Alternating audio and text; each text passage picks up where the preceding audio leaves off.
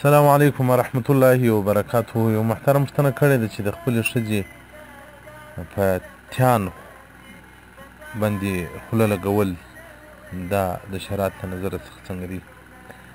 محترمه هیڅ مشکل نه لري دغه بعضې پوښتنې جواب یې ماته ګران وي بیا چې پوښتنه د وسي نو مجبوره یم چې نو خپل علم به نه پټوم ځکه رسول الله صلی الله علیه وسلم پر ورځ قیامت به د هغو علماوو په خولو کي د اور قايزې ور ووليږي چي هغه هغه څه يې زده وي له خلګو يې پټوي يو څوک پوښتنه ځيني وکړي او نو چي پوښتنه سوې ده بار بار سوې ده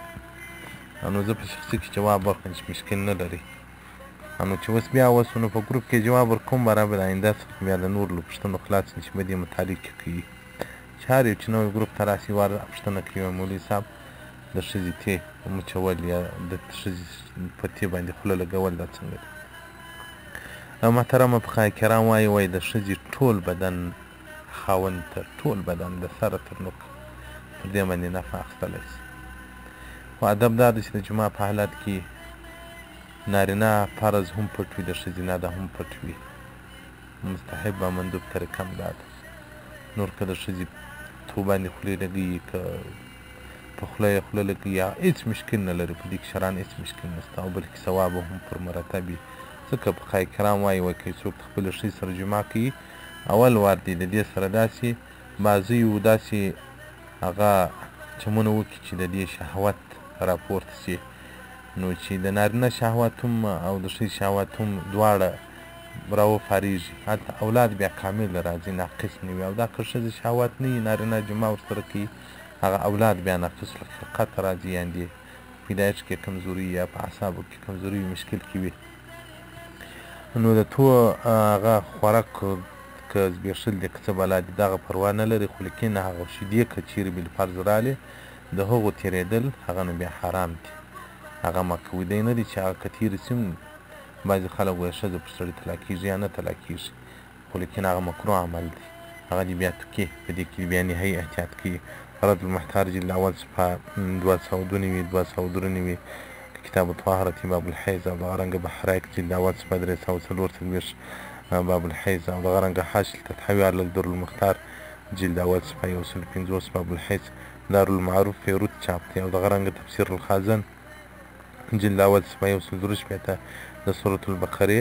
دوه سوه درویشت م آیات دی والسلام علیکم ورحمت الله وبرکاته ومغفرته. شقت راځي ياندې پيدايښت کې کمزوري يا په اعصابو کې کمزوري وي مشکل کې وي نو د تو هغه خورک که زبېښل دې که څه بلا دې دغه پروا نه لري خو لکن هغه شیدې که چیرې بلفرض رالې د هغو تیریدل هغه نو بیا حرام دي هغه مه کوئ دی نه دی چې هغه که تیر شي هم بعضی خلک وایي ښځه پر سړي طلاق کیږي یا نه طلاق کیږي خو لیکن هغه مکروه عمل دي هغه دي بیا کوي په دې کې شرعاً هیڅ مشکل نشته او بلکې ثواب به هم پر مرتب وي ځکه فقهای کرام وایي وایي که څوک د خپلې ښځې سره جماع کوي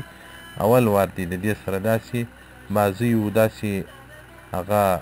چمونه وکړي چې د دې شهوت راپورته شي نو چی د نارینه شهوت هم او د ښځی شهوت هم دواړه راوفاریږی هلته اولاد بیا کامل راځی ناقص نه وی او دا که ښځی شهوت نه وی نارینه جماع ورسره کوي هغه اولاد بیا ناقص لکه به د هغو علماوو په خولو کی د اور قایضی ور وولیږی چی هغه هغه څه یې زده وی له خلکو یې پټوی یو څوک پوښتنه ځینې وکړي انو چی پوښتنه شوې ده بار بار شوې ده انو زه په شخصی کی جواب ورکړم چی مشکل نه لری. نو چې اوس بیا اوسو نو په ګروپ کې جواب ورکوم برابر آینده څخه خو بیا له نور له پوښتنو خلاص شي چې بدې متعلق کې کوي چې هر یو چې نوې ګروپ ته راسي وار دا پوښتنه کوي وای مولوی صاحب د ښځې تی مچول یا د ښځې په تی باندې خوله لګول دا څنګه دی محترمه فقهای کرام وایي وای د ښځې ټول بدن خاوند تر ټول بدن له سره تر نوکه پر دې باندې نفع اخستلای شي خو ادب دا دی چې د جماع په حالت کې نارینه فرض هم پټ وي د ښځینه دا هم پټ وي مستحب او مندوب طریقه هم دا ده نور که د ښځې تو باندې خولې لګوي که په خوله یې خوله لګوي هیڅ مشکل نه لري سلام علیکم ورحمت الله وبرکاته یو محترم ستنه کړې ده چې د خپلې ښځې په تیان باندې خوله لګول دا د شرایط له نظره څخه څنګه دي محترمه هیڅ مشکل نه لري دغه بعضې پوښتنې خو جواب یې ماته ګران وي بیا چې پوښتنه د وسي نو مجبوره یم چې نو خپل علم به نه پټوم ځکه رسول الله صلی الله علیه وسلم پر ورځ قیامت